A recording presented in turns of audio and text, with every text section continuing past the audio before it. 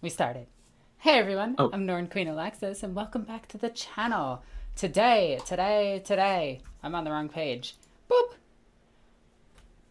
Eisenhorn TV show. I'm not gonna say I called it, but if you go back a few months, a few months, even all the way back to when I was on uh, um, Remlaze's podcast, uh, I whatever, uh, Adeptus Podcastus. That's it. Uh, I said, and I quote, if they were to make a TV show or movie, it would have to follow an inquisitorial warband. And now we have Eisenhorn. Yeah, who best to better to follow than the OG? Right? And joining me today is Victor and John. Victor, you may Hey. know as Viggy the GM, and John, you know as the Butt. Ah, So today we're gonna we're gonna go ahead and read through this thing, and yeah. Congrats on we? calling it. Thank you, Light. Thank you for the uh, donation. It means a lot. You're awesome. Also, it's six six six Mark of Slaanesh. Love it. shall I? Yes, let's go. Heretic, traitor, rogue, inquisitor, TV star? Okay, folks, this is pretty big. You might want to sit down. Ready? Here it is. Eisenhorn is being developed as a TV show. Boom! As usual, no one expected the Inquisition. Development of the TV show, starring Warhammer 40k's most infamous Inquisitor, is being headed up by Big Light Productions, an award winning team who have made some great TV shows. Uh, want me to read the asterisks or not? Yeah, go ahead and read the asterisks. Oh, uh, the asterisk actually. Well, the first one says, but even if you didn't expect it, anyone who has read the books may well have thought this would make a great TV show. We certainly did. And the second one video is just, game, by the way. Terrible video game. Look, if I wanted Mark Strong to read me Eisen, the Eisenhorn book, I would have taken that uh, in a heartbeat. So, uh, moving on. Yeah, go ahead. Uh, what does in development mean? Not down with all that Hollywood lingo? Well, development is the process that all TV shows go through prior to production. Here's a handy guide to how it works. Uh, want me to read that thing? No, we could just look at it. All aboard, All right. characters, outline, concept art, script writing, into the breach, yada yada yada. But let me just give I- some thought on this really quickly. That ship is called Divine Development. That okay, that's hilarious. Ah, Um, actually, the, what's funny is that's a lunar. No, yeah, that's a lunar because it only has one gun rack on it. Ha! I know that stuff. ah, nerd. Anyway, oh, so if you guys have read Eisenhorn, it follows three different books. Actually, I think it follows more than three books, but the three big books are Heretic, Xenos, and uh, Demon, or Hereticus, uh, Xenos, Hereticus, uh, Xenos, Malleus, Hereticus, in that order. yeah, yep. So it's actually really cool that we get uh, books like this, uh, mo- shows like this, and I think GW should actually follow this line of thinking. especially when they start depending on how this comes out if it comes out as good as like say i'm not going to say like I'm I'm definitely not going to say that one show that everybody likes that has Vikings and dragons in it. That that um, oh my god, somebody is gonna is gonna demand my nerd card for not knowing the name of. Game of Thrones does not have Yes, Vikings. There we go. Vikings and dragons, Game of Thrones. No, they're not Vikings. They wannabe Vikings. Take They're that, like- Victor. they're- They're like Kraken Lords or something. No, but I'm not going to say it's going to be that good. It might be something along the lines of maybe like Star Trek or something with some better development. Like, um, probably Breaking Bad is a good example of what we should expect out of this. Not too much CGI, but when it's there, it's there and it looks really good. I'm hoping they follow the entire storyline, but not all in one season.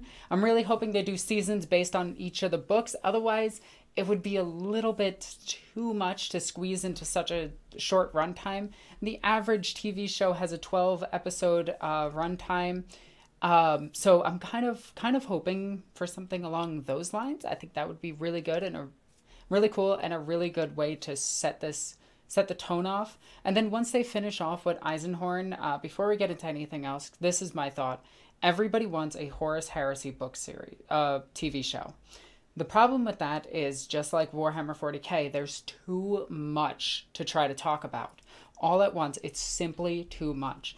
They shouldn't try to explain in Astartes. They should just be there and be angelic and it, not even like mention it. Like they need to do this very well. Let the atmosphere do the work for them. They don't want to purposely go out of their way to explain everything, which a lot of 40k books tend to do, mostly for space filler. Uh, they'll start saying random stuff and it just gets too clogged up and you're just like why do they even bother reading this? Like who needs to know where mark iii kraken bolter comes from? No one. I do. no one. Definitely not Hey. victor. He is he is not real. I'm just kidding victor. Uh, no, but what I would like to see for going forward, if they if this series is good, live action, uh, which I'm kind of worried about. Uh, it it should be live action. yeah, we don't know if it's live action yet. I haven't read below this point just yet, so I'm just giving my what I can. Okay, if it is live action, I'm hoping they go that far, you know, with the books and everything. But if they do a 30k one, I want them to follow Nathaniel Garro because, and not just because, haha, I'm a fangirl of Nathaniel Garro because I totally am, but but because his books focus on a single to three characters, sometimes five, where it's very easy to focus on and very simple to actually get through the stories of the Horus heresy and everything from one person's perspective and actually have this tight knit story that has gone over three books. So it would be good as a short story for this. And then for them to do that moving into the future, um, just focusing on single characters and single character books for making TV shows. Because if they made Space Marine the TV show, it would be absolutely silly. There would there would it would be too much. Um, I like it better set from a specific character's point of view, rather They than could- the entire genre.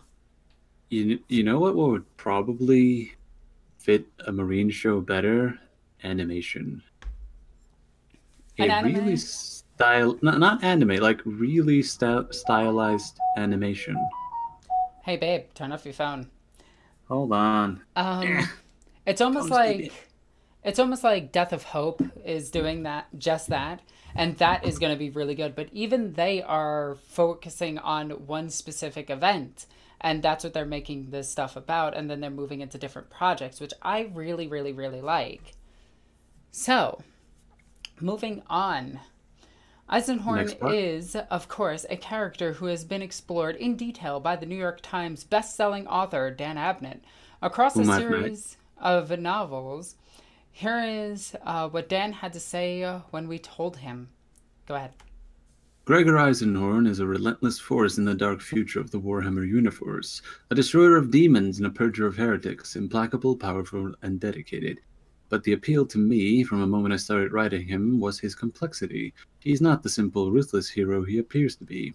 His battle with the warp uh, leads him into dark places and forces him to question his duty, his understanding of the Imperium, and his own identity. With Eisenhorn, it's not just the adventures, and they are certainly vivid, it's the journey he takes to the very limits of what he is and what it means to be loyal. Do you want me to uh, give you the perfect quote from Eisenhorn himself, who kind of summarizes himself in one go? Yeah, of course. Let me see. Also, I'm just going to interrupt really quickly. A Ciaphas Cain's TV series would be amazing. Oh, that would be so cool. Oh man. Sorry, that would be the best. All right. Here, here we go. So, all my life, I've had a reputation for being cold, unfeeling. Some have called me heartless, ruthless, even cruel. I'm not. I'm not beyond emotional response or compassion, but I possess, and my master count this perhaps as my, my paramount virtue, a singular force of will. Throughout my career, it has served me well to draw on this facility and steel myself, unflinching, at all that this wretched galaxy can throw at me. To feel pain or fear or grief is to allow myself a luxury I cannot afford. Gregor Eisenhorn, 240.m41.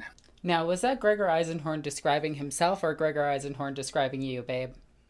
That was him describing himself. See, it works for both Ah. of them. God damn. All right, you want to keep going? Keeping on. The series development is being led by Frank Spotnitz, who has previously worked on shows such as Man in the High Castle and The X Files, for which he shares three Golden Globes.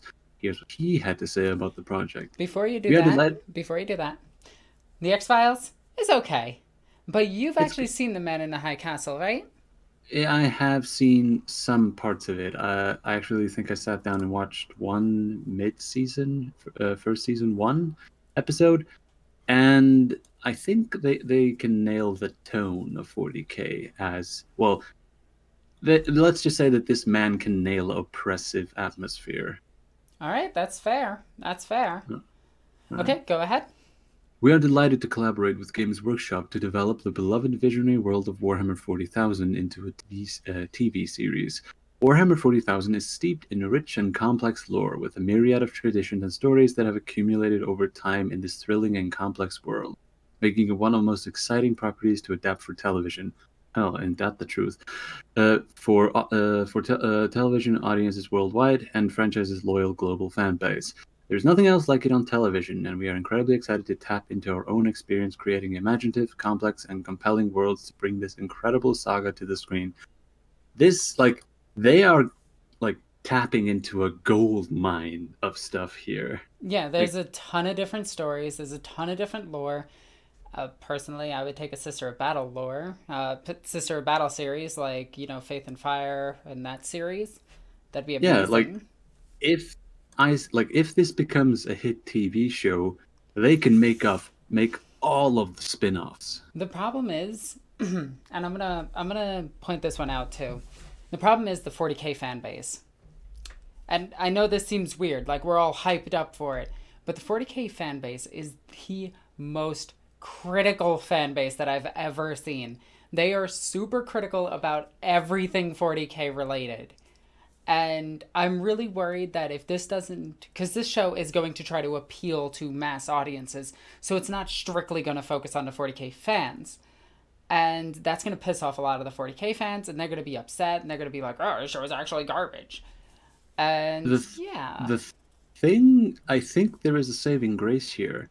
The reason that Eisenhorn is probably getting picked here is the reason that the book has like the book's reputation as something that you can read without needing to know anything about 40k. Yeah, and out of the out of the like the big books, like let's go with the Primarch series for instance, you can't read No. any of those except Fulgrim without knowing 40k. Yeah, Ful- that Fulgrim you can actually read and enjoy the book itself without knowing anything about Warhammer 40k, and that's what they need to do. They need to focus on the mass audience instead of just the unique individuals. you know because Fulgrim removes himself from 40k and just focuses on a single planet. Yeah, he does. Yeah, that's good. So Well, yeah, I think his whole I thing think wasn't the single planet. His whole thing was more of character-based Well, interactions than are you talking else. about the? Are you talking about the Primarch Fulgrim book or Fulgrim, the Horus Heresy novel? Uh, whichever one I have in my living room, I can't remember. I hate Those that two yeah, I hate that there's different. two different books named the exact same thing, uh, different series, but yeah. exact same thing. And both both written completely different. One is written really good, the other one's written like garbage. that would be the Josh Reynolds one that is written like garbage. Mm-hmm. Yeah. So, yeah, just for like a anecdotal example of how just how, so you want to know how accessible Eisenhorn is? How? Mope's mom, Mope's mom read Eisenhorn and liked it. Oh, that's fair enough. Yeah. So if a parent who has knows nothing about 40k and is, and 40k is not aimed at them, if they can just sit down and read a thriller cri- uh, like a thriller crime novel because that's what Eisenhorn is. It's it's a it's a crime novel, like Yeah. a mystery mystery thing, a, a- a regular who done it, if you will, and it's just that the uh, the book starts with a bunch of freezing nobles getting murdered, and quest is to find out why. So there you go. Uh, moving on. Uh, before you read that, I actually think this is a really, really, really solid time to release a 40k series because if they released it like a year ago, it would be outcompeted by um, Viking Dragon Show. Uh, Song of Ice and Fire. What is it actually called? Wow, why I still am drawing a blank on the name. Game of Thrones. Thrones. Thank you. Um, it would be competing with Game of Thrones, and it would it would simply be outcompeted by Game of Thrones. So let's hope the men are sexy. Let's hope the women are sexy, and it mass appeals to everybody, and they actually make this series a success because I really want it to be. Uh, just to put a quick point on what you said about release, uh, this thing is not getting released for a few years. Yeah, of course. It's going to take three years just to make it. Yeah, so they there's no chance in hell they would have gone up against Game of Thrones. Moving on. Mm-hmm. But it could take over the spot that Firefly had. That is true. It could. Ooh, that is true. Also, Amen. everybody in the chat, if you want to ask a question during the stream, simply at me or at John. This way, we can actually get those questions really quickly. If you want your question answered right away and want to support the channel, please consider using the super chat feature. It goes a long way to helping out the channel. Anyway, back to this.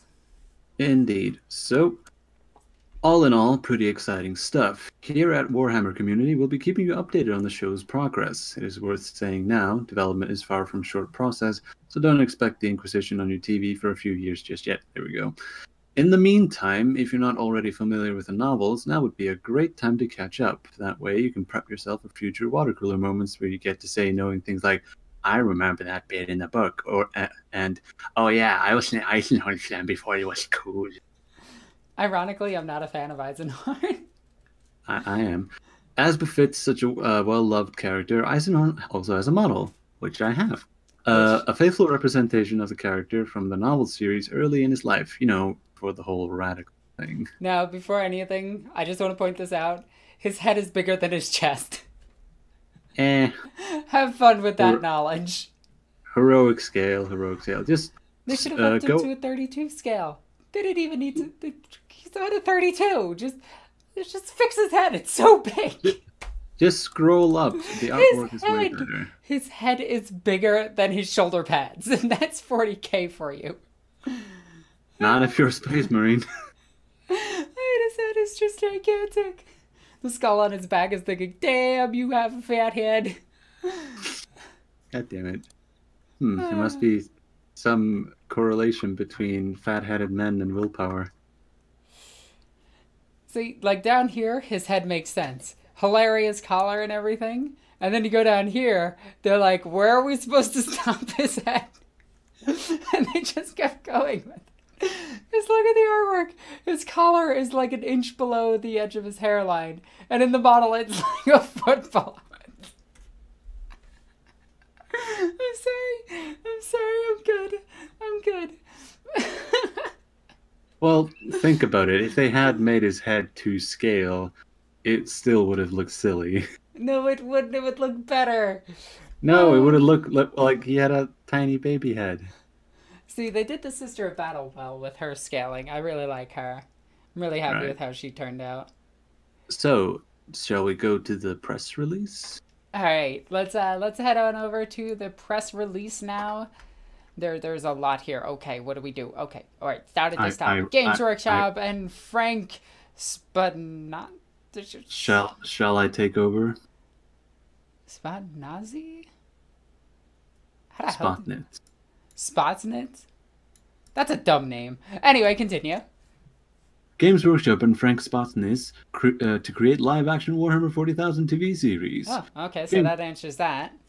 Games Workshop and Big Light Productions announced development of a live-action 40k series, Eisenhorn, for immediate release 17th of July. Games Workshop and Big Light Productions jointly announced today development of Eisenhorn, live-action science fiction and fantasy television series. I like that they emphasize the science fiction slash fantasy element. Mhm. 40k. Frank Spotnitz, the man in High Castle, The X Files, will act as both showrunner and executive producer on the series, which will be based on the wildly popular Warhammer 40,000 games, miniatures, and novels. The genre bending series is set in the Warhammer 40,000 universe, where mankind teeters on the brink of annihilation. While humanity's armies wage unending war across a million battlefields, in the darkness, a secret conflict rages, fought by the agents of the Imperial Inquisition. Drawing from sci fi, fantasy, and crime genres, Eisenhorn will see Inquisitor Gregor Eisenhorn and his band of investigators fight to thwart the monstrous schemes of aliens, heretics, and demons before mankind's doom is sealed. Warhammer 40,000 is a worldwide phenomenon with miniatures, tabletop games, video games, and novels sold online and in more than 5,000 retail locations around the globe. Just saying, Warhammer- that's actually not a lot. 5,000 retail stores is, is sad. For a niche, like super No, no, no, no, no. They're not. war They're not. game? They're not saying that this is niche. They are saying a worldwide phenomenon, and then saying they only have five thousand stores. Well, they Just saying. Just globe. saying. Just do they not? Continue. Warhammer 40,000 has a passionately devoted fan base who revel in the setting's intricate lore and engaging narrative. That's true. Visiting games, yeah, visiting Games Workshop website more than 100 million times and racking up more than 50 million views of, of Warhammer TV video content last year alone. That's some pretty Im- impressive. That is. I Games mean, Workshop is Let's not com- compare that to a YouTuber, but details. Games Workshop is the company behind the globally recognized Warhammer 40,000 brand, a a household name within geek culture. I think that's nerd culture, but eh, no whatever. geek culture. Boo. While Big Light Production is the award winning international production company whose credits include Amazon's The Man in the High Castle, Medici on Netflix, and Random, Ransom on CBS. I have seen none of these. Well, you should probably watch them to get a, you know, feeling for how the quality might be. The Eisenhorn series is based on novels written by New York Times bestselling author Dan Abnett, again, whom I've met, Guardians of the Galaxy, X-Men, The Horus Heresy, originally published in 2001 by Black Library, Games Workshop Publishing in print. The books have been reprinted in multiple languages and sold over half a million copies globally. That's pretty good. That's pretty good. I also have a, uh autograph, uh, an autographed copy of. I didn't uh, know that Dan Abnett worked on Guardians of the Galaxy. He did. I wonder He's if he really worked in the new 52 or the older stuff. I'm really I think- interested. I think it was the older stuff. Big Light Productions creative uh, creative director Emily Feller, never heard of her. Ordinary Lives, Trust Me, Medici, never seen any of those. Will also serve as an executive producer on the series. Uh, Frank's okay. These are the uh, the quotes from the Warhammer community articles repeat, except for Andy Smillie, who is Games Workshop global head of marketing and media. who says- Probably the smartest person in all of GW's line right now is this person who decided to go, "Hey Duncan, go make you're making videos and you're popular and people are are liking you. Yeah, let's just make that the the head thing that we do. Make him a superstar. Boom. Pretty much. We're thrilled to be working with Frank and his team at Big Light. Warhammer 40k is a global, massive global fan base. They're a passionate community of Warhammer hobbyists who love to engage with our characters, stories, and games. I'm truly delighted we are able to develop a show that will reward their loyalty. Inquisitor Eisenhorn represents one of the best, uh, best loved characters within our worlds, and we're excited to share his exploits and adventures with audiences new and old. Frank and his outstanding team at Big Light have done amazing things with other properties, bringing complex worlds to the screen and we can't wait to see what our partnership produces for the grim darkness of Warhammer 40,000. That I can't wait for. Yeah, this is This is a lot to take in. this is Um, hype as hell. Yep, this is. This is. I'm really excited about this because it's just it gives us the opportunity to get so much more out of this. Perhaps even a movie if this is successful, or it might be a hard dumpster fire. Let's hope for the the better of those two. Like legit, let's let's hope that this is a success or at least one of those uh, shows that becomes a cult phenomenon. Like Firefly, like yeah, like Firefly is actually the perfect Yeah, example. and less than pray that it doesn't get cancelled after one season, Like Firefly. like Firefly. Yeah.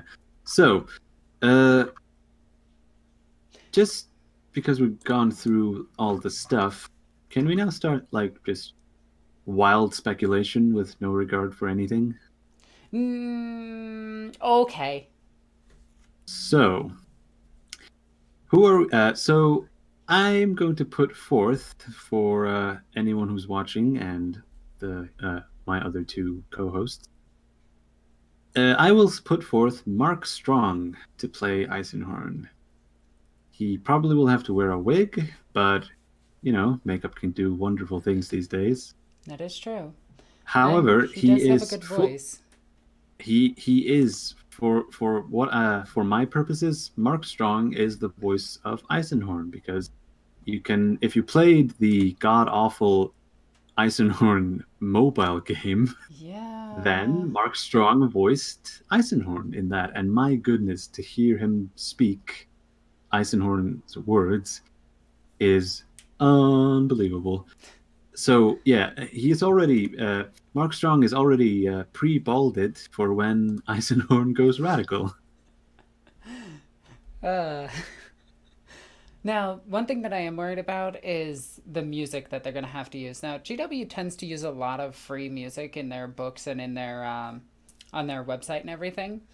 I'm really hoping they actually get like a good chorus for the whole thing, good music, because without good music, you won't set the proper as- uh, atmosphere for this kind of series.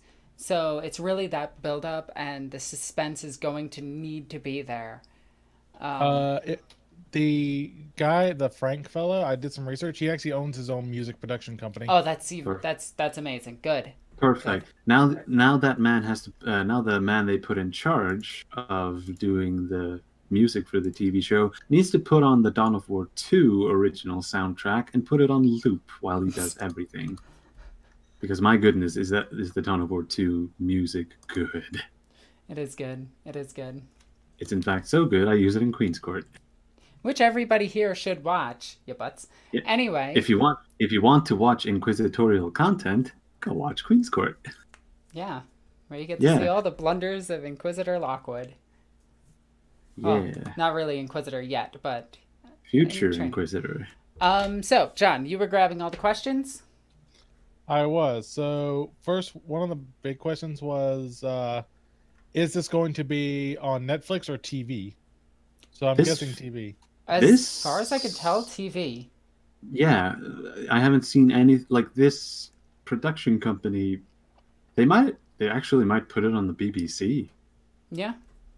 Yeah, yeah I can see that.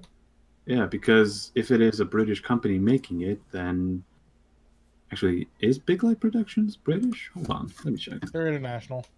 international okay then odds are that games workshop will probably sell the licensing right to the bbc actually they'll probably just sell it to whomever wants it Yeah, yeah. All right Uh, oh, here's a good question. Uh, do you think it would have been a better idea to have a completely unique adventure, like a you know No. unique story, or no Uh, my reasoning for this is simple. Eisenhorn is a recognized name. It'll catch people just by the name alone. It's kind of like when uh, you see a new movie come out and they announce the actor for it. It's that they're using the name itself to sell the series. right Indeed. Also, I will would like to add that Eisenhorn's story is already predetermined, and as we've seen with, say, Game of Thrones, people don't actually mind seeing the same storyline happen. In fact, a lot of people got kind of mad when they ran out of story. Just look at anime. Anyway, Ah, Lord have mercy. yeah. So uh, they will. This will be the uh, this will be the rise and fall of Inquisitor Choo Choo. apparently there's a train outside. I apologize. Let's go Oh, to the no, next the- question. The heresy train is here. Do you think some of the audio dramas could make a decent short film? Oh, The God, Lucius yes. One inch Oh, Shadow yeah. Sword come to mind. Quick Ooh. easy. Anyone who wants to get a wonderful like foretaste of what a 40k TV show might be, go watch Love, Death, and Robots. Yes. Oh my god, yes. So Oh, it's so, so it's so good. good. Oh, Like, like that's what I actually wanted for a 40k series, just animated versions of the audio dramas. I would love it. Like just 30 minute episodes, that's it. Just boom, right on Netflix, just pow pow pow pow pow, getting all of them done. We could get so many cool things. I would be so all over that. I would love it. Mm-hmm. Love Death and Yeah. Robots. If you haven't seen it, go see it. It's one of the few shows that I actually sat down and watched all of it at once. It was great. Indeed. All right, next question. If they funded this with Kickstarter, how fast do you think it would be take to fund? Um, pretty instantaneous. Like I would Yeah, say it's- three days. Uh, three days. That's saying a lot. Actually, that's I would I would say it's quicker. I would definitely throw like a hundred dollars at it. I, I mean, mean, think about it. The most one of the most expensive hobbies aside from magic in the world. The nerds would throw cash at their Um, screens. Babe, this is this is definitely not one of the most expensive hobbies in the world. This is far from it. What do you mean? I don't even think this is in like the top 20 most expensive hobbies in the world. Warhammer 40k is surprisingly, and this is going to annoy a lot of people, affordable, especially when you consider things like people who collect Jordans, people who collect guns, people who collect cars, boats. Uh, yeah, Let's let's go gaming hobby. to- yeah, gaming hobby and weight to money ratio. Magic wins by a landslide. 40k is pretty close in that regard, right? No, 40k is much cheaper than Magic the Gathering. I know. I said that. That's what I said. Damn it. Yeah, but I'm clarifying what you said because you said it was all confusing. See? Well, you're all Confusing. confused, and Anna what? Hmm. Yeah. Anyway. Next question. May I? May I? Okay, let's see what else we got. People are just li- listening. Like someone was saying, they want to see a Cowboy Bebop style 40k anime. Oh my god, yes, I'd be all over that for like a rogue trader. Let's do it. Right there. Boom. They Um, kind of they, they already like remember the trailer for the Rogue Trader Kill Team box set? Mm-hmm. That was an anime intro. It was. It definitely was. Yeah. So All right. Let's see. Uh, Next some- question. Someone said get the director from Matt Work uh, TV show. You cut out during that. Can you repeat that? Oh, sorry. Someone said get the director for uh, who did the uh, Mad Max Fury Road to do uh, yes. Prophets of the Wall. Oh Prophets of the Wa as that. Yes. Yes, that would be amazing. look, you can almost make whatever kind of story you want and it can fit. Hmm Because Absolutely. I mean, if you think about it, Event Horizon is a 40k movie, and it's about space hell. Yeah. All right. So, what do we got for the next question? Uh, let's see. Do you think? Kai- oh yeah, here's one that we kind of talked about. Do you think Ciaphas Cain would have made a better TV series, um, more relatable and humorous, less grimdark main character, good variety of characters and scenarios? ECT. I would take him as a TV show, but I wouldn't say he's a better choice per se because a lot of people don't like the more comical side of 40k, which 40k Not- is a very like Ciaphas Cain is a very funny series. Like let's be real, it is a funny series. It's I wouldn't I would say that it's e- like it's uh you It's a could comedy. do it. You could do it quite. It's not. Uh, it's comedic. It's not No, comedy. I would say it's a dark comedy. Yeah, I can say that, but I wouldn't put that out as the first step. Oh, no. Eisenhorn is probably better in that regard. hmm But man, like, well, that's the thing. You you say you want a Ciaphas Cain TV show, just go watch Blackadder. It's Ciaphas Cain the TV show, except uh, except Rowan Atkinson, aka Mr. Bean, plays Ciaphas Cain, and he even has his own Jurgen. Yeah, but but let's go Ciaphas Cain, 40k. Boom. There we go. All right, what do we got for the next question? Uh, some people were saying they want to see like a band of brothers, like Astra Militarum TV show. Uh, that could be Again. okay. Again, like Oh my god. They should do a MASH 40k TV show. Yes. Pretty much. Yeah. The thing about uh, what's it called so again, like all of these are good ideas, but for like for the first step into TV shows, this is probably I could not agree more when it comes to the choice of the Eisenhorn series. Oh yeah. Uh, White Like- actually asked um, about the Inquisition fan codex that I'm writing. I am still working on that. I've taken a break for a little bit of time. Uh, please forgive me. Victor has Really? not touched it since. Hey, I've been busy. He pretends to be busy. Pretends. Hey. I'm just Also, read read his read his full question. Uh, hang on, I just scrolled past it. Will the Inquisition Choo Choo be in the fan codex? Yes. the heresy train? I'll put a heresy train in there. The Chaos Dwarves will be upset about this. They're the ones with the heresy choo choo. Okay. Okay. Um, so I think we caught up on all of the questions. There's one asking about accents. Uh, personally, I think American actors are better than British actors, but that's just me. Uh, there are some really good British actors, but I don't think that they're going to be able to get the top talents. So we're gonna we're gonna be stuck with like the mid tier or up and comers. So it should be a good mix of them to show like proper diversity. I'd be okay with. That- That's the thing. Like, you don't need big names for this. Like, sure, Mark Strong is a pretty big name, but you can pretty much put whomever in the extra, uh, in the uh, side character roles. Yeah, yeah.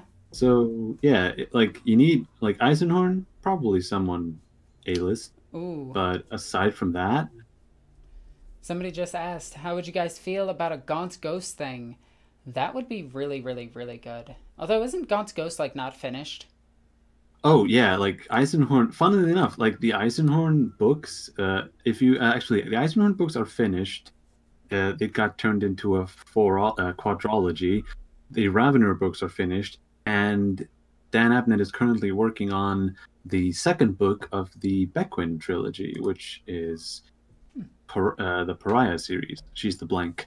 Uh, the Gaunt's Ghost thing, animated or otherwise, it would probably work like like much like the Space Marine uh, animated show that I thought of, the an Astra Militarum animated show could work, kind of like the Star Wars, uh, Clone Wars. Like remember the Clone Wars shorts? Yeah, it could Yeah. work like that. Yeah, that could actually work really well. Uh, also, uh, Bloodlost Honor is asking how you feel about the latest book, the latest Gaunt's Ghost book. It was sick. I didn't read it.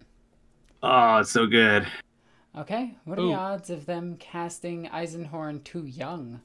Uh, that is actually not a problem because Eisenhorn, at the start of the first book, let me actually grab the Eisenhorn book. He describes how old he is. Let me see. Because. Let's hope they don't grab some 15 year old kid or 17 year old kid. Yeah. It's gonna be this guy who played Spider Man. Yeah, let's hope that it, at least the actor is 25 or older. Duncan Rhodes for the role. I'd be okay with that. Huh. He has the face of a living saint, though. True. I'm trying to think. Another person they could do a show about that has, if they wanted to have more original stuff, is uh, called Jericho. Oh yeah. Ooh, that would be nice. And then you could have like, then you could have Steve Buscemi as Scabs. Ha. Nice. Uh, which is your most favorite faction lore? Okay, so I'm assuming you mean out of like the big, the big names, and it would be the Inquisition. Uh, the Inquisition has always had my favorite lore. It's crime drama and 40k. Um, but aside from the Inquisition, it would have to be Sisters of Battle, which technically fall under Inquisition because they're Ordo, they're the military branch of the Ordo Hereticus. And beyond that, I would actually have to say. Oh. Oh, And let's see. Favorite faction besides them would have to be. Mechanicus on my part. Oh. Orc, is- orc, orc, orc. I would have to say, like, the Eldar. Ah, here we go. I found his description of himself. Uh, let's see. So, so you have me then pictured: Gregor Eisenhorn, Inquisitor, Puritan, Amalathian, forty-two years old, standard, and Inquisitor for the past eighteen years. I am tall and broad at the shoulders, strong, resolute. I have already told you of my force of will, and you will have noted my prowess with a blade. What else there? Am I clean shaven? Yes. My eyes are dark. My hair darker and thick. These things matter little. Come and let me show you how I killed Eyclone. What the hell is this? Is like inquisitorsonly.com profile? yes. when you're lonely, Inquisitor's always watching. Inquisitor.com. Uh, Lonely heretic in need of inquisition. Lonely heretic in need of purging. uh, it's like a FetLife account. I can't actually believe that someone name dropped Carlos McConnell. yeah, instead of Carlos Mencia. No, no, no. It's uh, he's he's he's the guy who discovered the Felinid planet. I wish I was joking. How? Okay, at what point did he report that? like, I don't know, like but he was probably living in an ar- anime harem for quite some time before he's like, fine, I guess I'll report it. Okay, let's see. What else do we got? Um, they do instead chase? note. Oh, I I love the fact that oh yeah, who who should play Ravenor? Don't worry, you don't need an actor for him. He's a he's a hub he's a anti grav force chair. jeez. All right, uh, let's see what we got. Um, wasn't there Or- a hover bike chase scene in book one? Probably. Yes, there was. Uh, Abnett has actually mentioned that fact uh, previously, but I think the fluff has changed a bit since then in the fact that jet bikes aren't as rare because there there was something about uh what's his face Ravenwing guy Samael having the last Imperial jet bike. Yeah, which That- isn't in the lore anymore. That kind of went out the door when the custodian showed up. That went out the door when the custodians show up, and then when Trazina's just like, "Oh, by the way, here's all my 30k Marines I've been collecting." Boop, Huh, and they all Huh. just appeared. nailed it. Which also makes like Dante not the oldest Space Marine anymore. Wait, Like- who is? Oh, well, Insert random Terminator from 30k. Doesn't the. I thought they were all kept in stasis. That doesn't matter. Yeah, it does. It freezes time so they don't age. Yeah, that doesn't mean that time doesn't pass. Yeah, outside of the stasis field. Yeah, that doesn't matter. Yeah, it does. It means No, they're it not doesn't. aging, so they're not getting older. Did time pass? Yes, they are older. Outside of the stasis field. yeah, that uh, doesn't we've- matter. For those inside, time does not pass. That Anyway. isn't important. Also, if you read, uh, if you listen to the audio drama uh, "Our Martyred Lady," uh, Greyfax wasn't kept in stasis, making her older than Dante because she's from M36. She's not a space marine. Doesn't matter. She's old. Man. Just saying. Just saying. Um, all right. So, uh, with that, do we have another uh, any other questions? Do, Uh, do, someone, I think someone says that that's- all, all, you- all you need for Ravenor is a pile of burnt skin. Agreed. Yeah, yeah, you do. So, Ah. with that, I think we're going to wrap this one up. I want to thank everybody for donating, everybody for following and subscribing. If you want to see more content from this channel, please subscribe to the channel. Ring that stupid bell thingy that's like right over here. For some reason, you need to ring that in order for YouTube to actually show you my videos now. Uh, why they decided to do this is beyond me, but that's what they decided to do. And you can follow me on all sorts of social media. I post on Twitch, Twitter, uh, Facebook. I post a lot of different things on a lot of different places. If you want to support the channel, please check out Patreon. That goes a long way to actually keeping my lights on and my belly fed. And I have a. I I like food and I like power. Yeah. I don't know where to go from that. Anyway, guys, as always, I'm Norn Queen Alexis. I love you guys. Bye.